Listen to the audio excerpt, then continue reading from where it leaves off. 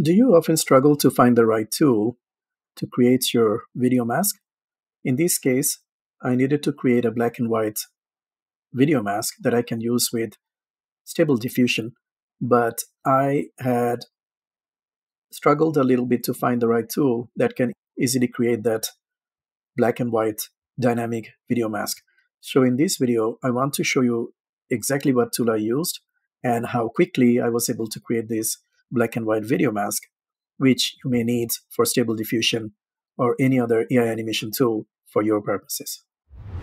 Okay, so the app that we are going to use is called Runway ML, and I'll have the link in the description so you have it as well. And the first time you come in, you just have to sign up. It's free. And for that, all you need just some basic information, your email address, and you have to create a password.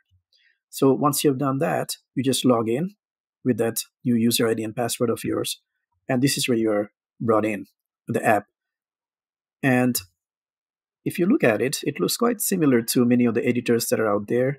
So we have an editing panel and we have we have the timeline, the bottom. So the look and feel is quite similar. So what we need to do, we have to upload our video here. And this is my actual video, Women with a Pigeon. So once you have started uploading it, you'll see that it's uploading at the moment.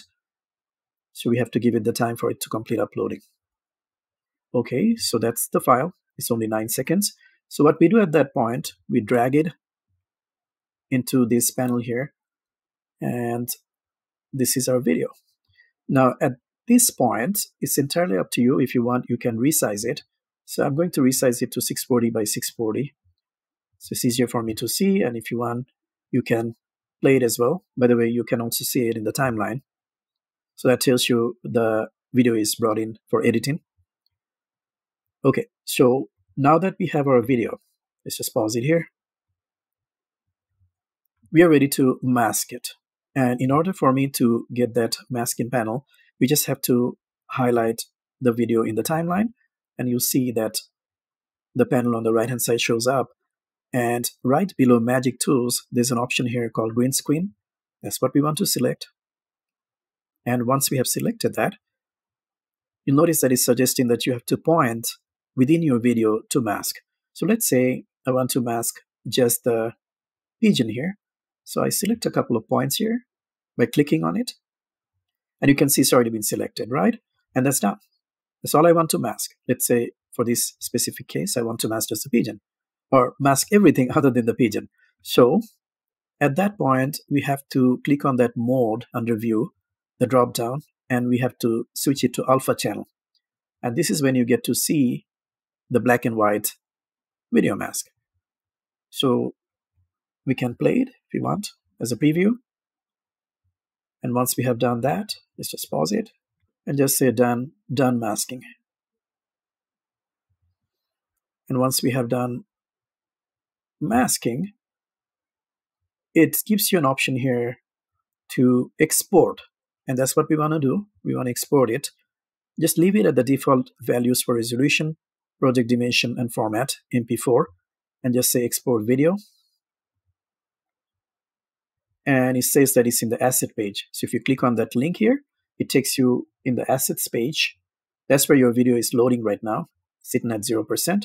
Let's give it the time for it to complete uploading the video here. All right, so the video is completely uploaded, our black and white video mask. So all we have to do at that point, and here we can see it under the assets names. And all we have to do, if we highlight that and go all the way to the right hand side, you see the three dots here? Click on that and download. So that should download into your local.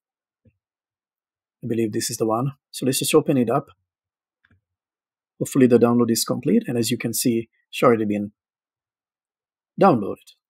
So that's an option for you, for you to be able to create a black and white video mask.